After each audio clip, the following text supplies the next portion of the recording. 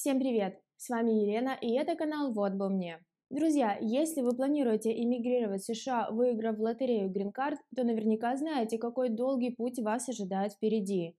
Немногим счастливчикам удается выиграть Card с первого или даже пятого раза. Кому-то везет больше, и за несколько лет мечта переехать в США воплощается в реальность, а кто-то может участвовать в лотерее и 10 лет, так и не поймав удачу за хвост. Но даже если при проверке результатов вы узнали, что на этот раз система выбрала вашу анкету среди миллионов остальных, это все равно еще не означает на 100%, что вы сможете получить грин-карту. Кроме того, что шанс попасть на собеседование напрямую зависит от номера вашего кейса, есть еще куча этапов, которые необходимо успешно пройти.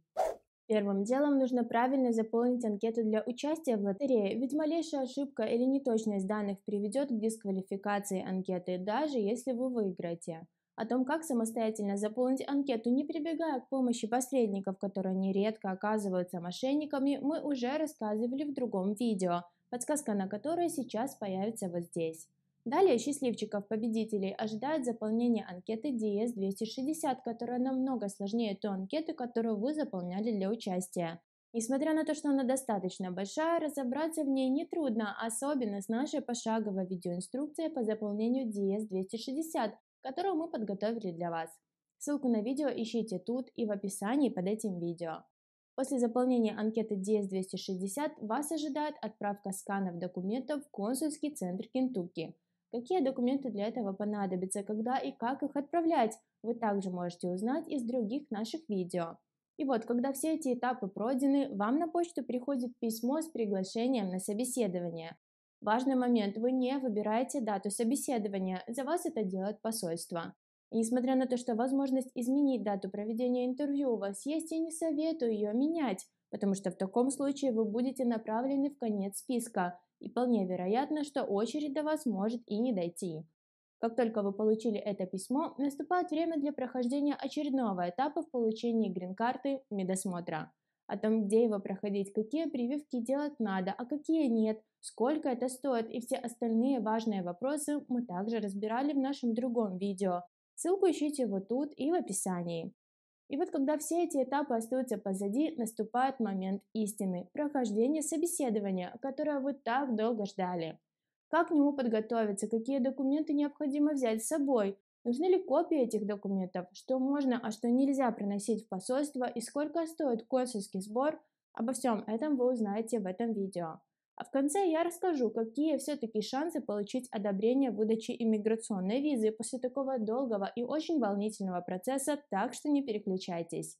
Итак, поехали!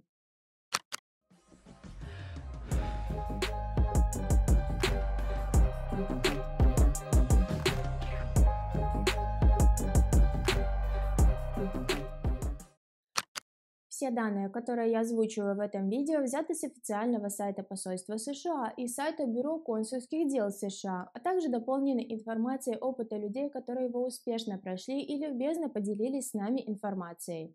Ссылки на сайты я, как обычно, оставлю в описании под этим видео. В первую очередь необходимо подготовить пакет основных документов, которые вы обязаны взять с собой в посольство на собеседование. В этом списке целых 11 пунктов. Пункт 1. Распечатанная страница подтверждения заполнения формы DS-260. При заполнении анкеты вам было предложено сохранить ее себе на компьютер или отправить на адрес электронной почты. Наступило время ее распечатать. Уточню, распечатывать необходимо не всю анкету, а только страницу подтверждения, и выглядит она вот так. Второй пункт – страница подтверждения регистрации и оплаты услуг доставки ваших документов обратно к вам с помощью курьерской службы. Тут подойдет не каждая курьерская компания, а потому выполнить эту процедуру необходимо на сайте US Travel Docs, создав личную учетную запись на имя основного заявителя и добавив в нее данные на всех остальных заявителей, если такие имеются. Ссылку на сайт я оставлю в описании под видео, а детальную видеоинструкцию, как это сделать, вы найдете в самом конце видео, так что не переключайтесь. Пункт номер три. Две ваши фотографии размером 5 на 5 см, сделанных не более чем полгода назад. Само фото должно соответствовать тем же стандартам, что и фотографии для участия в лотерее и для анкеты DS-260. Четвертый пункт – ваш заграничный паспорт. Тут, думаю, все и так понятно. Важно, чтобы до окончания срока действия заграничного паспорта на момент прохождения интервью оставалось больше 6 месяцев, и, конечно же, это должен быть именно тот загранпаспорт, данные из которого вы указывали в анкете. Пятый пункт – свидетельство о рождении. Пункт номер шесть – свидетельство о браке, если такое имеется. Седьмой пункт – свидетельство о расторжении брака. Если предыдущих браков у вас было несколько, соответственно, взять все свидетельства. Восьмой пункт – справка о несудимости. Это та же самая справка, которую вы получали для отправки сканов документов в консульский центр Кентукки. Пункт номер девять – военный билет, если вы проходили военную службу. Если прохождение военной службы в вашей стране не предусмотрено в обязательном порядке и вы ее не проходили, этот документ не требуется. Однако, если военная служба в вашей стране являлась обязательной для прохождения, но вы не проходили ее по каким-либо причинам, и у вас, например, есть только приписное, но нет самого военника, вам необходимо обратиться в военкомат и получить этот документ. Десятый пункт – запечатанный конверт с результатами прохождения медосмотра. Я уже рассказывала, что после медосмотра вам выдадут конверт с результатами прохождения обследования, и его ни в коем случае нельзя вскрывать. Если конверт будет открыт или поврежден, скорее всего, выдаче визы вам откажут, или в лучшем случае медосмотр необходимо будет проходить повторно. Одиннадцатый пункт, который является обязательным лишь для главного заявителя – диплом про окончание учебного заведения. Подойдет даже диплом об окончании среднего образования или колледжа, но если имеется более высокое, берите его. Для остальных заявителей этот пункт не обязательный, однако как дополнительный документ взять его стоит. С основным пакетом документов разобрались. Важно, для всех документов из этого списка также требуется ксерокопия. Точно такой же пакет документов необходимо подготовить для каждого члена семьи, который претендует на получение визы вместе с основным заявителем. Кроме основного пакета документов, с собой в посольство можно взять и другие документы, которые я рекомендую сложить в отдельную папку и предоставлять их консулу только если он сам их потребует. В ином случае эти документы не доставать. Ну и, конечно, для них также необходимо сделать копии. Повторю, все эти документы не обязательно приносить, и если каких-то из них у вас не окажется, то ничего страшного. Но на мой взгляд, чем лучше подготовишься и чем больше будешь иметь запасных документов и справок, тем лучше. Такой пакет дополнительных документов надо подготовить отдельно на каждого заявителя и сложить в отдельные папки, которые лучше подписать, чтобы не запутаться. Кстати, папки советую взять прозрачные, чтобы на досмотре в посольстве у охранников возникло меньше вопросов. Итак, вот список. Ваш внутренний гражданский паспорт, другие действующие или истекшие загранпаспорта, копия письма приглашения на собеседование, все дипломы и приложения к ним, документы о владении движимым и недвижимым имуществом, трудовая книжка, справка из банка о состоянии вашего счета. Желательно, чтобы на этом счету были деньги, чтобы была возможность дать понять консулу, что вам есть чем себя обеспечить в США хотя бы на первое время. Кроме того, если брак вы зарегистрировали недавно, и тем более, если сделали это после победы в лотерею, желательно сделать отдельную папку с доказательствами того, что ваш брак не является фиктивным. Возьмите с собой открытки, которые дарили друг другу, или распечатайте общие старые фотографии. Также можно найти в интернете список вопросов, которые может задать консул для проверки подлинности ваших отношений. Однако, уверяю, если ваш брак неэффективный, волноваться точно не о чем. Просто перед собеседованием обновите в памяти информацию о том, где и как вы познакомились, сколько лет уже вместе, имена родителей и другие банальные вопросы, которые придут вам в голову. Так, наконец-то с тем, что взять с собой в посольство, мы разобрались. Теперь давайте разберемся, что с собой нельзя брать в посольство. И список тут, кстати, тоже довольно внушительный. Не разрешается приносить с собой мобильные телефоны, электронные ключи от автомобиля, косметику, продукты питания и медицинские препараты, а также любые другие электронные устройства вроде смарт-часов, фитнес-трекеров, беспроводных наушников, фотокамер, электронных сигарет и всего прочего. В этот перечень входят и большие сумки, а также колющие, режущие и легковоспламеняющиеся предметы. По большому счету, взять с собой вам разрешат только папку с документами и деньги. И самое главное, на территории посольства камеры хранения для всех запрещенных предметов нет. И о сохранности всех ваших личных вещей за пределами посольства вы должны позаботиться самостоятельно. Да, это приносит массу неудобств, но это правило посольства. И если не подготовиться к этому заранее, существует вероятность того, что вы просто не успеете найти место, где все это оставить и пропустите свое время. Обычно возле посольства стоит фургончик, куда можно сдать свои вещи за деньги, но, как по мне, это сомнительная перспектива, и лучше оставить все вещи дома или близкому человеку, который подождет вас на улице, пока вы будете проходить интервью. И вот подготовленная со всеми документами и копиями, без телефонов, фотоаппаратов и всего остального, в назначенную дату вы приходите в посольство. Желательно прийти заранее, но не слишком рано, так как раньше назначенного времени вас все равно не пустят. Вместе с вами, скорее всего, будут и другие люди, но наверняка не все они подаются на иммиграционную визу, так что долгих очередей в посольстве не будет. В установленное время охранник заберет ваш паспорт, проверит списки и запустит на территорию посольства. Далее вам будет необходимо подойти к иммиграционному окошку, показать наличие всех основных документов и справку о том, что ваши документы зарегистрированы в курьерской службе на обратную отправку. Вам выдадут номерной талон и квитанцию, по которой в кассе будет необходимо оплатить консульский сбор на каждого заявителя. Стоимость консульского сбора составляет 330 долларов с человека. После его оплаты возвращайтесь в зал ожидания и ждете, пока ваш номер появится на электронном табло с указанием номера окошка, к которому нужно подойти. Дождавшись своей очереди, подходите к окошку, где у вас принимают основные документы, а также берут отпечатки пальцев. После этой процедуры вас направят на интервью с консулом. Консул точно разговаривает как на английском, так и на государственном языке той страны, в которой вы проходите интервью.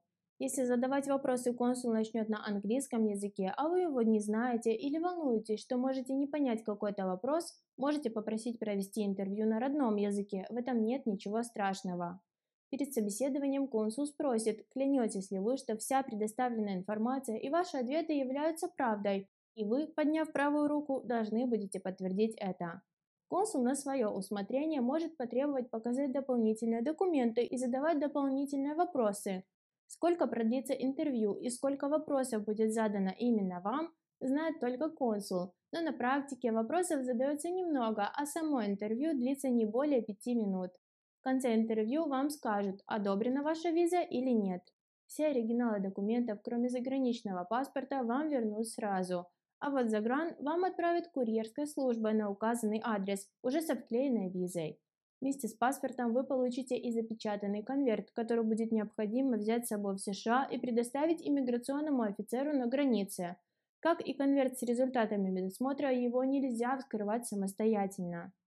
И последнее, по поводу страхов и волнения. В отличие от собеседования на неиммиграционные визы, где консул скорее всего будет искать причины, чтобы визу вам не выдать, на собеседование для получения DV-визы такой задачи у консула нет. Если вы собрали полный перечень необходимых документов и с ними все в порядке, волноваться не о чем. Обычно вся эта процедура, оплата консульского сбора, ожидание, отпечатки пальцев и само интервью занимает не больше 30-40 минут. Пережив этот поистине волнительный день и вернувшись домой, через несколько дней вы получите назад загранпаспорт, уже с вклеенной визой, и вам лишь останется въехать в США, где иммиграционный офицер заберет необходимые документы и запустит процесс выдачи грин-карты. Ну и в конце, как и обещала, подробная видеоинструкция о том, как зарегистрироваться на сайте US Travel Docs для регистрации вашего паспорта на отправку курьерской службой. Заходим на сайт US Travel Docs, официальный сайт дипломатической миссии США, ссылку на которую я оставлю в описании. Выбираем соответствующий регион на карте, в данном случае Европу. В предложенном списке стран находим необходимую и нажимаем на нее. Справа находим раздел «Обращение за визой» и нажимаем на кнопку «Создать учетную запись». В новом окне вводим адрес электронной почты, другие необходимые данные, читаем положение политики конфиденциальности и ставим галочку. Вводим код с картинки и нажимаем на кнопку «Отправить». После этого вы попадете в личный кабинет, где вам необходимо выбрать раздел «Новое обращение», «Запись на собеседование». Далее выбираем раздел «Иммиграционные визы». На открывшейся странице выбираем пункт «Регистрация адреса доставки паспорта». И среди всех категорий иммиграционных виз находим нужную нам DV1 и внизу страницы нажимаем кнопку «Продолжить». На новой странице принимаем обязательные условия, нажав соответствующую кнопку и вносим все необходимые данные.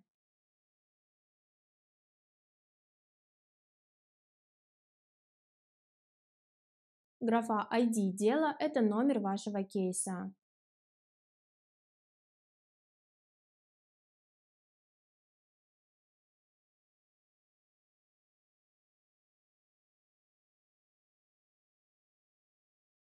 Заполнив все необходимые данные, нажимаем кнопку «Продолжить».